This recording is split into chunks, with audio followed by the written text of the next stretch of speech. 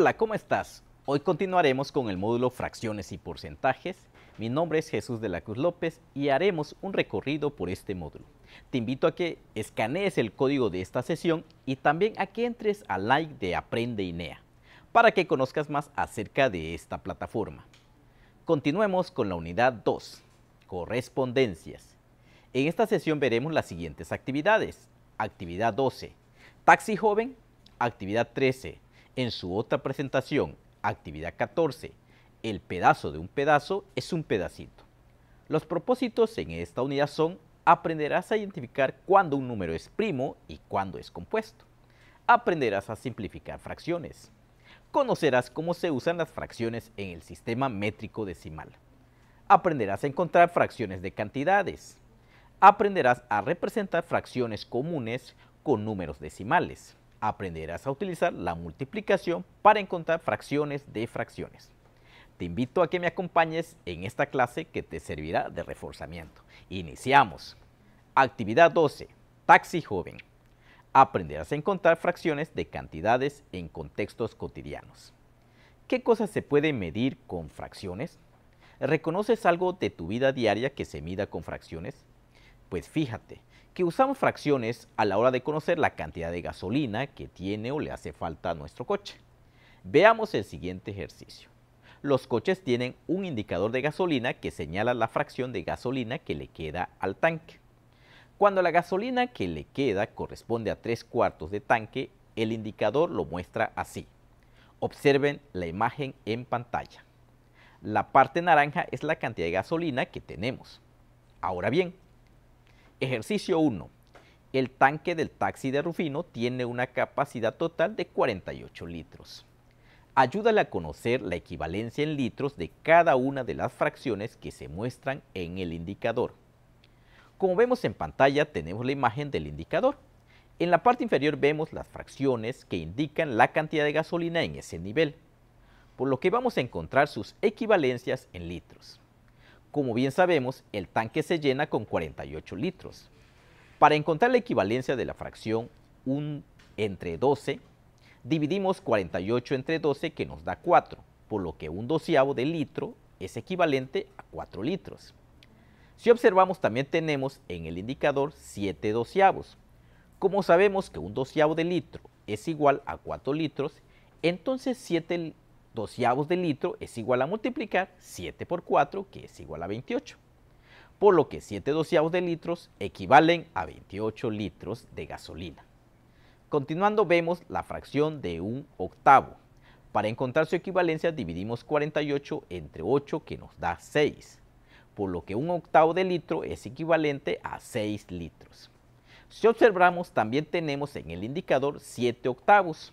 Como sabemos que un octavo de litro es igual a 6 litros, entonces 7 octavos de litro es igual a multiplicar 7 por 6, que es igual a 42, por lo que 7 octavos de litros equivalen a 42 litros de gasolina. Proseguimos con la fracción de un cuarto. Para encontrar su equivalencia dividimos 48 entre 4 que nos da 12, por lo que un cuarto de litro es equivalente a 12 litros. Si observamos también tenemos en el indicador 3 cuartos. Como sabemos que un cuarto de litro es igual a 12 litros, entonces 3 cuartos de litro es igual a multiplicar 3 por 12, que es igual a 36. Por lo que 3 cuartos de litros equivalen a 36 litros de gasolina. Continuando vemos la fracción de un tercio. Para encontrar su equivalencia dividimos 48 entre 3 que nos da 16 por lo que un tercio de litro es equivalente a 16 litros. Si observamos, también tenemos en el indicador dos tercios. Como sabemos que un tercio de litro es igual a 16 litros, entonces dos tercios de litros es igual a multiplicar 2 por 16, que es igual a 32. Por lo que dos tercios de litros equivalen a 32 litros de gasolina. Por último tenemos la fracción de un medio, que ya sabemos que es la mitad de lo que puede contener. Esto es 48 entre 2, que nos da 24, por lo que un medio es equivalente a 24 litros de gasolina. Como pueden observar, las equivalencias de las fracciones de izquierda a derecha van aumentando. hasta llegar al tanque lleno con 48 litros. Veamos el ejercicio 2. Con base en la información que muestra la imagen del indicador de gasolina, responde las siguientes preguntas. Inciso A.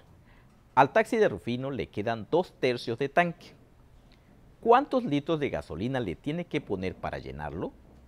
Claro, como vemos en el indicador, dos tercios de gasolina equivalen a 32 litros. Y como sabemos que se llena con 48 litros, entonces realizamos una resta para saber cuántos litros necesitamos para llenarlo. Esto es, 48 menos 32 es igual a 16 por lo que se necesitan 16 litros para llenar el tanque. Inciso B. ¿Cuántos litros de gasolina necesita para llenar el tanque si tiene 3 cuartos de la capacidad total? Como observamos en el indicador, 3 cuartos de gasolina equivalen a 36 litros. Y sabemos que se llena con 48 litros, entonces realizamos una resta para saber cuántos litros necesitamos para llenarlo. Esto es 48 menos 36 es igual a 12, por lo que se necesitan 12 litros para llenar el tanque. Inciso C. Si al taxi de refino le queda un 48 avos de tanque, ¿cuántos litros de gasolina tiene? Efectivamente, le queda un litro, porque 48 entre 48 es igual a 1. Inciso D. ¿Qué fracción del tanque ocupan 24 litros de gasolina? Como observamos en el indicador, 24 litros es representado por la fracción de un medio, es decir, la mitad del tanque que tiene de gasolina. Inciso E. ¿Cuánto tiene 12 litros de gasolina? ¿Qué fracción del tanque ocupa? Cuando tiene 12 litros, vemos que en el indicador es representado por la fracción de un cuarto, es decir, la mitad de medio tanque. Veamos el siguiente diálogo entre Teresa e Irma respecto a cómo saber cuántos litros de gasolina tiene el taxi cuando le quedan 7 octavos de tanque. Teresa, ¿cuántos crees que sean 7 octavos de 48 litros? Irma, para saber creo que lo mejor sería averiguar primero cuánto es un octavo de 48 litros. Teresa, basta dividir 48 entre 8. Irma, entonces un octavo de 48 litros son 6 litros porque 48 entre 8 es igual a 6. Teresa, y si un octavo de 48 litros son 6 litros, entonces 7 octavos de 48 litros tiene que ser 7 veces 6 litros. Irma, sí, 7 octavos de 48 litros son 42 litros, porque 7 por 6 es igual a 42.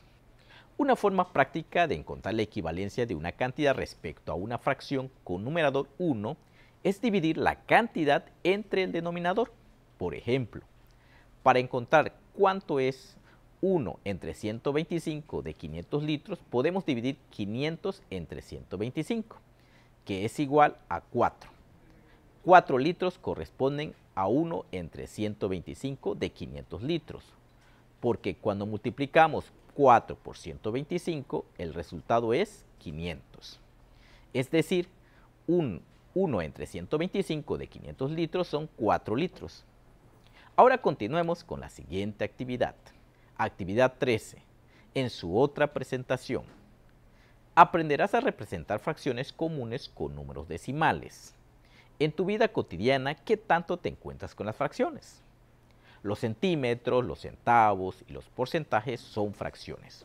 En la vida cotidiana constantemente recibimos información que implica el uso de datos numéricos. Es importante saber interpretar esos datos. Veamos el siguiente ejercicio.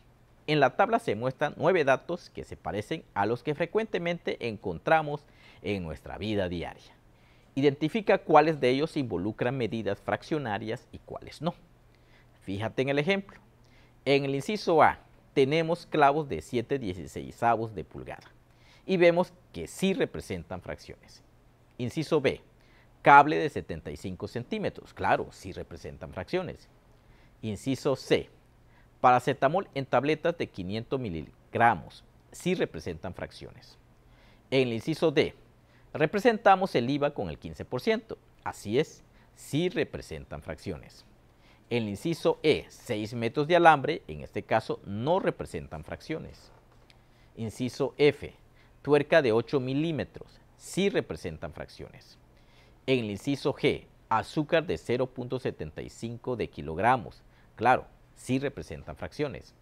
Inciso H, 8 años de trabajar en la empresa. Como vemos, este dato no representa fracciones. Y por último, el inciso I, 37% de preferencia electoral. Efectivamente, sí representan fracciones. Como pudimos observar, usamos las fracciones en el manejo de ciertas cantidades en diversos productos que necesitamos. A continuación, leamos el diálogo entre Afrodita y Marisol. Afrodita, en mi refresco dice contenido neto 350 mililitros. Marisol, eso significa que en el envase hay 350 mililitros de líquido. Afrodita, ¿Los mililitros son una medida fraccionaria? Marisol, creo que sí, porque no creo que un mililitro signifique mil litros. Afrodita, pues no, mil litros no caben en un envase. Marisol, entonces un mililitro es uno entre mil de litro. Afrodita, ah, y la leyenda 350 mililitros indica que al envase le caben 350 entre mil de litro. Las fracciones más comunes que encontramos en nuestra vida diaria son fracciones decimales. Como recordarás, las fracciones decimales siempre tienen un denominador que empieza con 1 y le siguen solamente ceros. Las fracciones pueden convertirse a números decimales. Para ello solo hay que dividir el numerador entre el denominador. Por ejemplo, 2 quintos se puede escribir con números decimales de la siguiente manera, 0.4. De esta manera podemos afirmar que los números que se escriben a la derecha del punto decimal pueden escribirse con fracciones decimales. Ejemplos, 0.5 décimos es igual a 5 décimos, 0.75 es igual a 75 centésimos, 0.75 es igual a 75 milésimos, 0.2 es igual a 2 décimos. La cantidad de cifras que se escribe a la derecha del punto decimal determinan el número de ceros que forman el denominador decimal de la fracción. Ejemplo, 0.075 es igual a 75 entre 1000. Así vemos que en 0.075 tenemos tres cifras después del punto decimal y en la fracción tenemos tres ceros después del 1 en el denominador. Al simplificar las fracciones anteriores se pueden encontrar otras equivalencias. Ejemplos, 5 décimo es igual a un medio, que es igual a 0.5. 75 centésimos es igual a 3 cuartos, que es igual a 0.75. 75 milésimos es igual a 3 entre 40, que también es igual a 0.075. 2 décimos es igual a un quinto, que es igual a 0.2. Escribe el denominador decimal que corresponde a la fracción equivalente al número decimal que se muestra. Fíjate en el ejemplo. En el ejemplo podemos observar que 0.25 es igual a 25 entre 100. En el inciso A tenemos que 0.6 tiene una cifra después del punto decimal por lo que es igual a 6 décimos. En el inciso B tenemos que 0.08 tiene dos cifras después del punto decimal por lo que es igual a 8 entre 100. En el inciso C tenemos que 0.895 tiene tres cifras después del punto decimal, por lo que es igual a 895 entre 1000. En el inciso D tenemos que 0.047 tiene tres cifras después del punto decimal, por lo que es igual a 47 entre 1000. En el inciso E tenemos que 0.009 tiene tres cifras después del punto decimal, por lo que es igual a 9 entre 1000.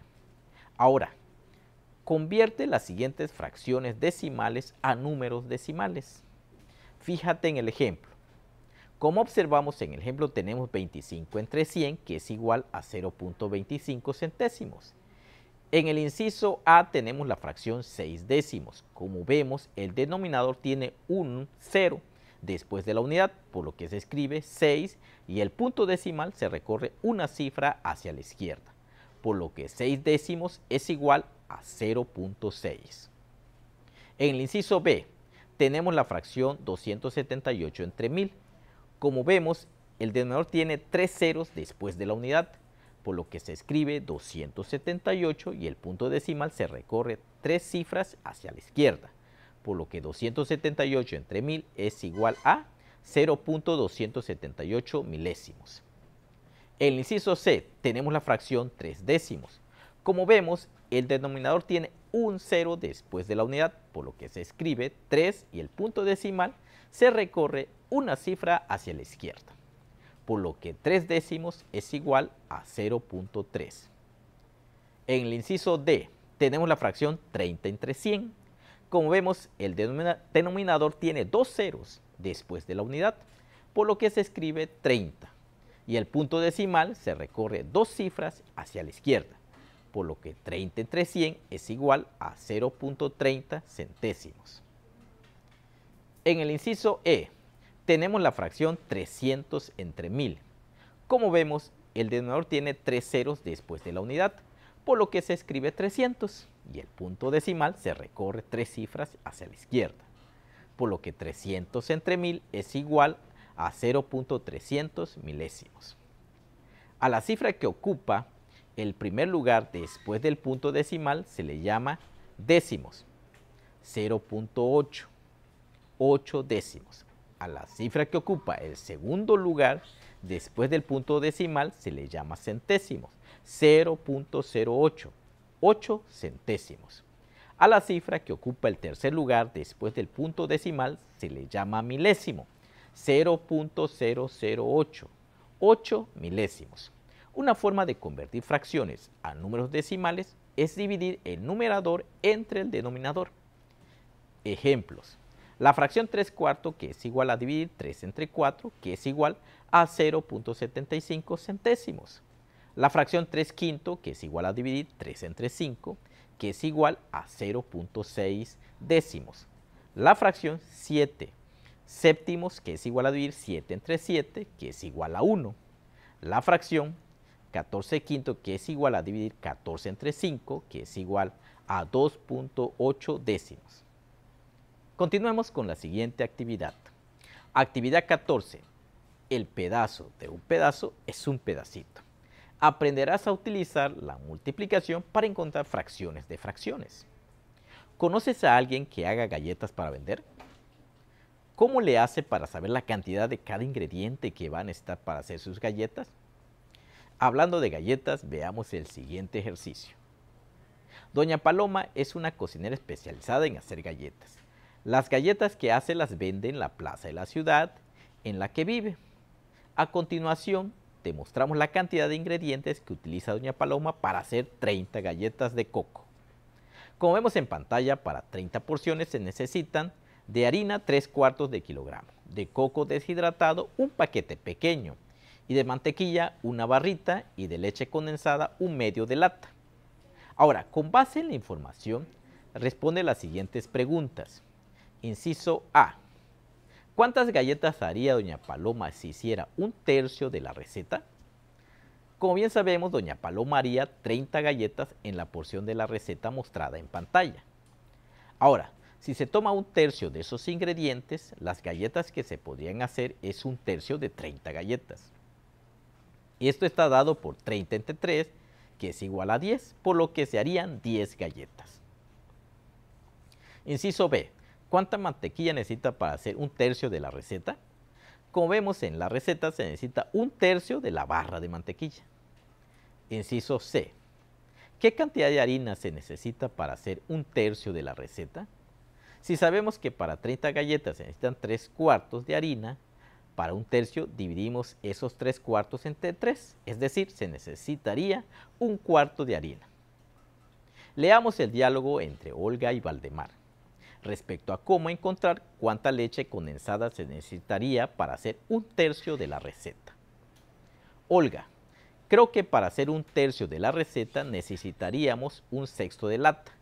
Valdemar, ¿por qué?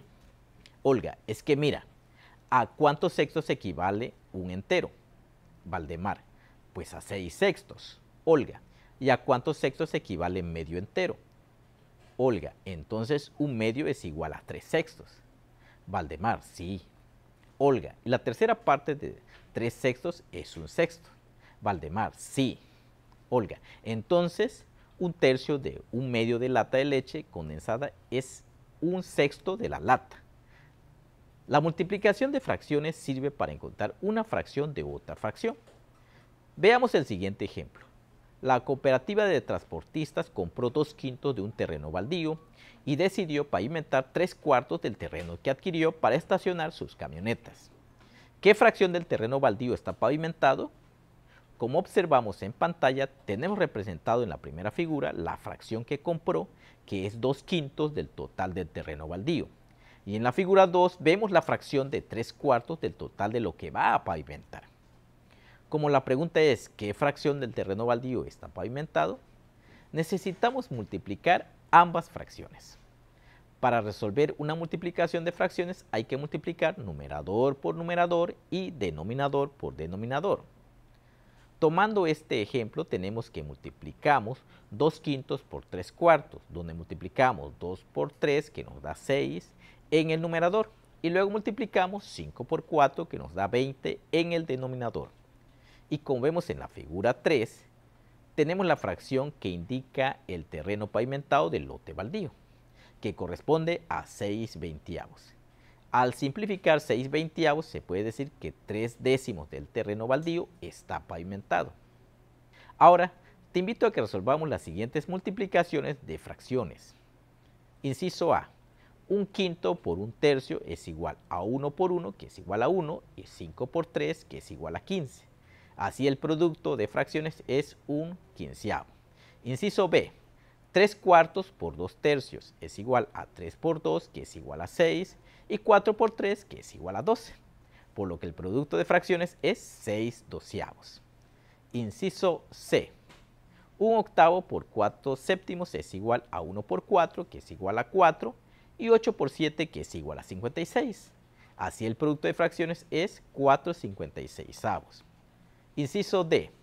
3 quintos por 7 novenos es igual a 3 por 7, que es igual a 21, y 5 por 9, que es igual a 45 por lo que el producto de fracciones es 21 45 avos. Los problemas en los que hay que averiguar qué cantidad es una fracción de otra fracción pueden ser resueltos con el uso de la multiplicación.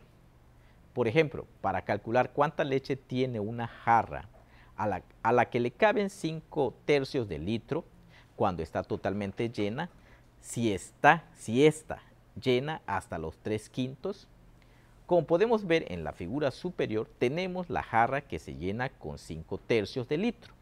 Observemos que está seleccionada en quintos, de los cuales vemos que la parte azul corresponde a 3 quintos del contenido de leche en la jarra. Y para calcular cuánta leche contiene la jarra, se puede realizar la siguiente multiplicación. 3 quintos por 5 tercios, que es igual a multiplicar en el numerador 3 por 5 y en el denominador 5 por 3, que es igual a 15 quinceavos y esto es igual a 1. De esta forma se sabe que 3 quintos de 5 tercios del litro de leche corresponden a un litro de leche. Ahora te invito a que sigas trabajando en casa. Si tienes alguna duda, contacta a tu asesor. Recuerda, quédate en casa y si tienes que salir, usa tu cubreboca, lávate las manos cada vez que se requiera con agua y jabón o usa gel antibacterial. Mantén tu sana distancia. Si te cuidas tú, nos cuidamos todos. Nos vemos en una próxima sesión.